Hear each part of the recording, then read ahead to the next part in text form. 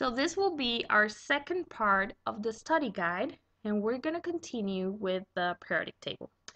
Now there is a lot of information we can be able to extract from the periodic table and we're going to start with the most basic things. That will be uh, telling the difference between the metals, the nonmetals, and the metalloids. So first we have to locate uh, where are they on the periodic table and we need to find uh, the metalloids first, okay? So that's easier. Now go here to boron, the first one on the P block, and draw a staircase. When you draw the staircase, this staircase tells you where are the metalloids. So here we have boron is a metalloid, these two, silicon and germanium, they're also metalloids. Arsenic and antimony, they are metalloids. Tellurium is also metalloid. Uh, polonium will be a metal and sometimes astatine is considered a metalloid okay? So here we have we're super sure about this being uh, being metalloids so everything that's on the left will be metals including the rare earth metals and everything on the right of the staircase will be non-metals plus hydrogen. Remember hydrogen here is also a non-metal. Now hydrogen is located on top of the alkali metals, but that doesn't make it an alkali metal. Now we're going to talk about the families. So if you notice, the periodic table has different columns, and each column represents a family. So the first family here, without hydrogen, will be the alkali metals. Then our second column here, group 2, will be the alkaline earth metals. These are the transition metals, so basically the D block. then we have the third group here, which is the boron family. Then we have the carbon family, so this other column. Then we have the nitrogens with nitrogen as the head of the family. Then we have the chalcogens here with oxygen, the halogens with fluorine as the head of the family, and finally the noble gases, which is the last column on the periodic table. Then here on the bottom we have the rare earth metals, and the first uh, row will be the lanthanide series. And then we have the actinide series here. Speaking of rows, we also have rows on the periodic table. So the first row, which only includes hydrogen and helium, that will be my first energy level, energy level 1. The second row will be energy level 2. And then the third row will be energy level 3. Then we have energy level number 4. Then we have energy level number 5 number six, and the last energy level will be seven. So here's a question for you. How many uh, subshells and which of them, which are their names, are located on the sixth energy level? So pause the video and answer how many, uh, which are the subshells located in the sixth energy level.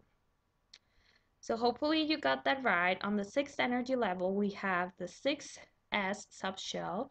We also have the 4F subshell and we have the 5D subshell and the 6P subshell. So all of these are located within the 6th energy level. Now the periodic table, uh, remember from, from the periodic table we can also determine the valence electrons for specific elements and from the number of valence electrons we can predict a charge. So again the first family alkaline metals and hydrogen included, will have one valence electron and therefore when they lose this valence electron their charge will be positive 1. Second family we have two valence electrons so a charge of positive 2. We skip the transition metals. Then we have the third group here has three valence electrons and a charge of plus 3. Then we have carbon family with four valence electrons, but we don't talk about charges for carbon family because they will be, uh, they will not lose or gain electrons, they will share. Uh, but that's part of our next unit bonding. Then we have the nitrogens with five valence electrons and a charge of negative three. Oxygen family or chalcogens, we have six valence electrons and a charge of negative two. Halogens, we have seven valence electrons and a charge of negative one. And finally, noble gases, we have eight valence electrons and a charge of zero. So, I have another question for you. Why are noble gases stable? Now, don't answer because they have eight valence electrons and their shell is full. Uh, that's not a complete answer. Noble gases are stable because they have high ionization energies. And these uh, high ionization ener energies are because they have a very high effective nuclear charge. So there is a strong pull from the nucleus without a lot of shield uh, of shielding for the valence electrons. Okay, so we have uh, we're not going to a next energy level. We start here in this, within this energy level, for example, neon, this is the one that has the highest number of protons without going to the next energy level, okay? Now, they also have very low electronegativity because when we add an electron, that will put uh, that electron in the new valence shell, and there will be a lot of shielding now, okay? So that will mean a low effective nuclear charge, and the atom cannot hold it, cannot hold this electron. So um, that won't be possible. So uh, they are difficult for, for noble gases, it's difficult for them to lose or gain electrons, and that's why they're stable. Now, from the periodic table, you also have to know properties of all the different families, and you, ha you have to be able to identify and explain why trends, uh, what different kinds of trends we have in the periodic table, okay? So here we have different trends on the periodic table. The first one here, upper left, we have the atomic radius. And you should be able to explain why this trend occurs on the periodic table. So we see the atomic radius is increasing as we go down, but it decreases as we move to the right, okay? So you should be able to, to explain that as we move to the right, we are adding more electrons, so that means a higher effective nuclear charge that pulls the electrons closer to the nucleus, okay? There's not a lot of shielding going on because we're still on the same energy level, so the electrons that are on the valence shell will be closer, will, will be uh, pulled closer to the nucleus as we move to the right, okay? So that's one, one example here. We also have electronegativity, which is here on the bottom, and we see how electronegativity is increasing as we move to the right. We don't have electronegativity values for this ones here um, for noble gases but it also uh, electronegativity decreases as we move down okay so for example here we see here with the halogens it's probably easier to see how it is decreasing so again uh, try to explain using your own words why the electronegativity will increase as we move to the right and will decrease as we move down the periodic table. So think about Coulomb's law, think about the effective nuclear charge, think about the radius, what is happening to the radius, and and same thing for ionization energy, uh, very similar to electronegativity. It's increasing as we move to the right and it decreases as we move down the periodic table, okay? So again, try to use your own words to um, describe why the trends are occurring here in the periodic table. Then we have atomic radius versus ionic radius.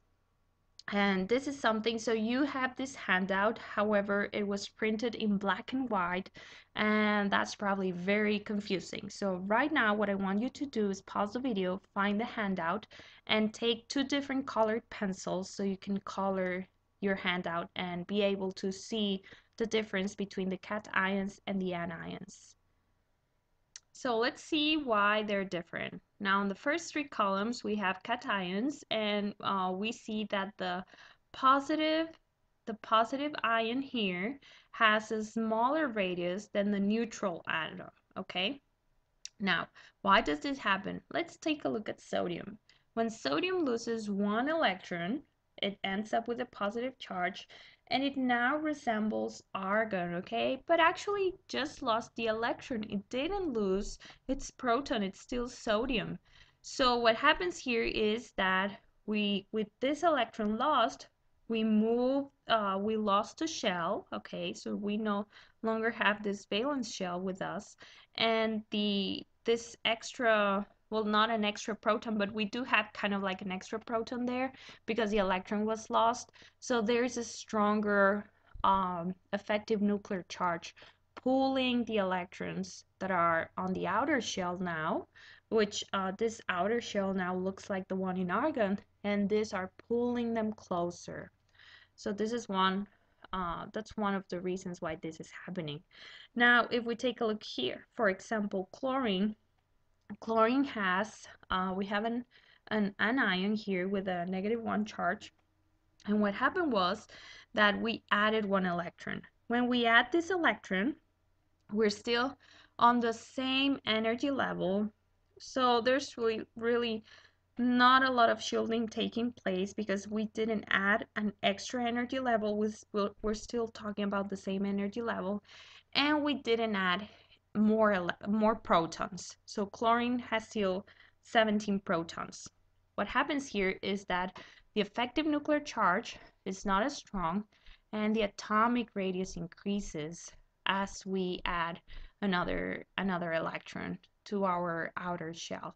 So shielding uh, is not increasing at all, and we see that the radius uh, for this for this ion uh, increases.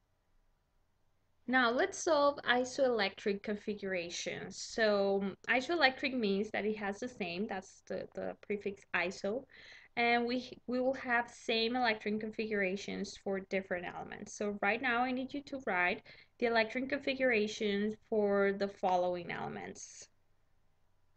So let's see uh, how, how well did you uh, did you do there?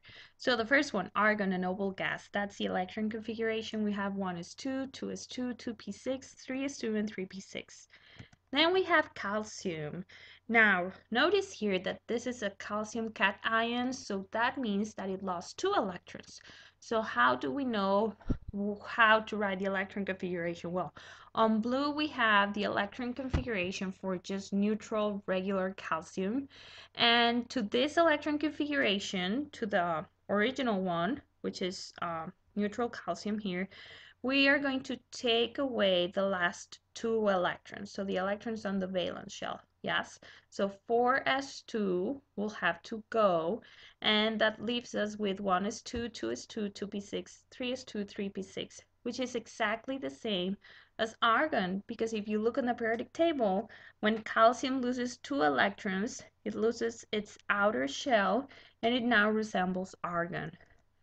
Finally, we have chlorine, and this is um, this is an ion here with a negative one charge. So it means that for regular chlorine, we start here with the neutral atom, which has this electron configuration, but we need to add one electron here in the last uh, in the last subshell. So instead of having 3p5 for regular chlorine, for this ion, we'll have 3p6. So I added one electron. And again, we see that this electron configuration is exactly the same as the electron configuration for argon because if you look on the periodic table, chlorine is just right behind argon. So the minute we add one extra electron, it will look like um, the next noble gas, which is argon. Okay, so hopefully you got those correct. And that's the end of our study guide. So, uh, however, this doesn't mean that what we cover in the study guide is only the things that will be on the exam. Remember that you have to study everything we covered uh, on this unit. So, uh, study your notes, study um, workbook pages, presentations, projects, everything we did. Uh, keep calm, uh, try to study, keep on working. And if you have any other questions, please ask me or Ms. Backus, and we'll see you on the test. Good luck.